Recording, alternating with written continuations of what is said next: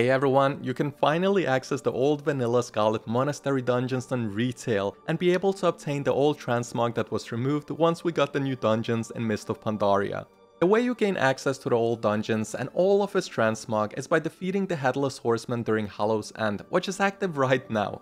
Simply queue up for the dungeon, defeat the boss and right click on the pumpkin you get in your bags for completing the encounter, because this pumpkin can contain a scarlet key. It's not a 100% drop rate, so if you were unlucky as I was and didn't get the key, you can always buy it from the auction house or ask one of your friends to get you the key from within the old dungeon, which also works.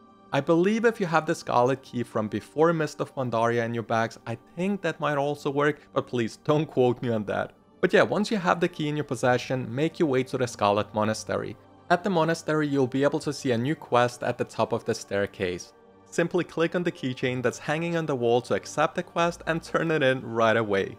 After turning in the quest, you'll be able to switch between the vanilla versions of the dungeons and the new dungeons simply by clicking on the keychain. This is account-wide, so once you have done the quest, you can access the keychain on any of your characters on that account, which is awesome in my opinion.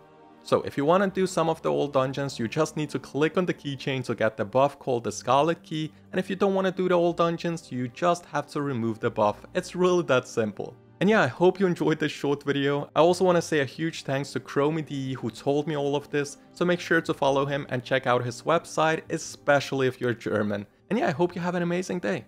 Take care.